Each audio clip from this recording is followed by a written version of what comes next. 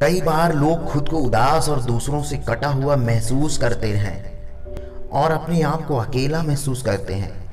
इसी आधार पर अकेलेपन की व्याख्या दी जा सकती है। जब व्यक्ति खुद को दूसरों या उन लोगों से अलग थलग महसूस करता है, जिनसे वह जुड़ा हुआ है, उसे अकेलापन कहते हैं।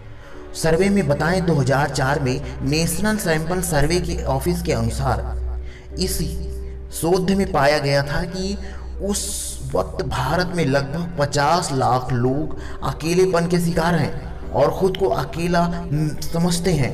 अकेलेपन को हम अपने रिश्तों से समझ सकते हैं। कई लोगों के फ़ोन में हज़ारों कंटेक्ट होंगे। फेसबुक पर 500 से ज़्यादा दोस्त होंगे। बाकी लोगों से भी बहुत मिलना जुलना होता है। वही दूसरी तरफ़ कई लोगों के दो से चार ही दोस्त होंगे। ऐसे में ज़रूरी नहीं है कि जिस व्यक्ति के ज़्यादा दोस्त हैं, वह अकेलेपन का शिकार नहीं हो सकता। या जिसके कम दोस्त हैं, वह अकेलेपन का शिकार जल्दी हो जाता है। अकेलेपन कई प्रकार का होता है, और ऐसा ज़रूरी नहीं है कि आप तय कर समय उस उदास महसूस कर सकते हैं।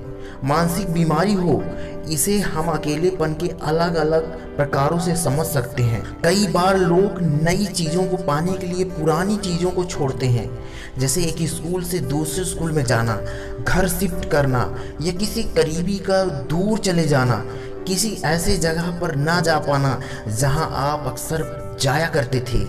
ऐसे लोगों को अकेलेपन महसूस होने लगता है।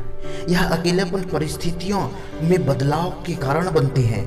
जब हालात बदलते हैं तो व्यक्ति एकदम से उन हालातों में ढल नहीं पाता। पुरानी चीज़ों को याद करके अकेलेपन महसूस करने लगता है।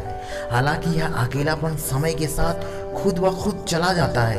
यह व्यक्ति अपनी ज़िंदगी में आए बदलाव को स्वीकार करने लगता है तो वह अकेला महसूस करना बंद कर देता है। इस बात में कोई शक नहीं है कि जिन व्यक्ति में हमें जुड़े होने और उनसे अलग होने पर अकेला महसूस करते हैं और जब उनकी ज़िंदगी में कुछ नया होता है या उनका विकास होता है, जैसे उनका प्रमोशन हुआ या फिर शादी हुई या नई जॉब लग गई, आदि ऐसे में हमारा उनसे जुड़ाव कम होता जाता है। तो व्यक्ति अकेला महसूस करने लगता है।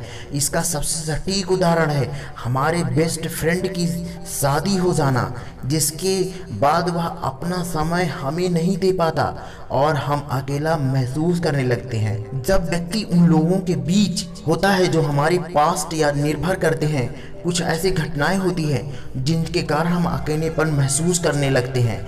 जैसे दोस्तों से दूर हो जाना, घर बदल लेना दूसरे शहर चले जाना नौकरी बदलना या रिटायर होने पर लोग अकेला महसूस करते हैं। भाषाएँ समस्या, संस्कृत न मिलने के कारण, सामाजिक मेल जोल न होने के कारण, सोशल मीडिया पर ज़्यादा समय बिताने के कारण, किसी अपने के छोड़ जाने, चले जाने के कारण, मानसिक या शारीरिक कमज़ोरी के कारण भी होते हैं। अकेलेपन महसूस करना सिर्फ़ खुद को अलग थलग करना महसूस नहीं होता, बल्कि अकेलेपन अपने कई साथ मानसिक, शारीरिक समस्याओं के साथ आता है।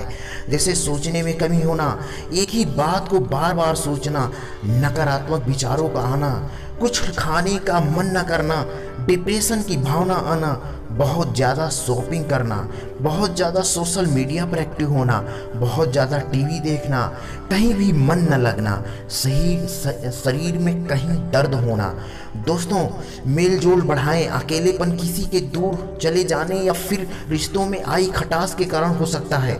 अगर आप भी ऐसा ही कुछ महसूस कर रहे हैं तो अपना मेल जोल बढ़ाएँ या दोस्तों से मिले, उनसे बातें करें।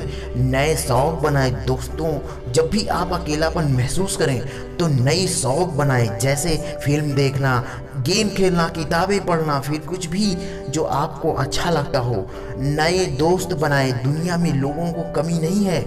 आप नए दोस्त बना सकते हैं, उनसे बातचीत कर सकते हैं। नहीं तो आप अपने ऑफ़िस के गार्ड से, ऑफ़िस के बॉय से या फिर सैलून वाले से दूध वाले से एक नॉर्मल बातचीत करें। उन्हें हेलो कहें। उनके काम करने के बाद उन्हें थैंक यू कहें। आप देखेंगे कि कुछ ही दिनों में आपके कई सारे दोस्त बन जाएँगे। दयालु और जिज्ञासु बने। दोस्तों, अकेलेपन से निपटने के लिए लिए बहुत सारी ज़रूरतें हैं कि आप दूसरों से बात करते रहें, समय और दयालु जिज्ञासु रहें और उनकी बातों में भी रुचि रखें। थेरेपिस्ट या मनोविज्ञानी की मदद लें। दोस्तों समस्या बहुत बढ़ जाए, उससे पहले ही आप थेरेपिस्ट या मनोविज्ञान से मदद ले सकते हैं। और आजकल तो ज़रूरी नहीं है कि आप उनके पास जाएँ या आप घर पर ही ऑनलाइन भी संभव हो सकता है। जैसे आप कई सारी बातें आप शेयर कर सकते हैं। मनोविज्ञान के साथ अपनी ऑनलाइन अपॉइंटमेंट बुक कर सकते हैं, जिसके मनोविज्ञान आपको खुद कॉल करेंगे और अपने मनोवैज्ञानिक थेरेपी के द्वारा आपकी समस्या का समाधान करेंगे।